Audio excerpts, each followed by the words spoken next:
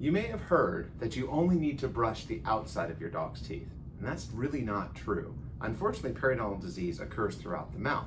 Many people say that because it's really hard to get to the inside of your pet's mouth. And if you can't, and only doing the outside is the best you can do, it's better than nothing.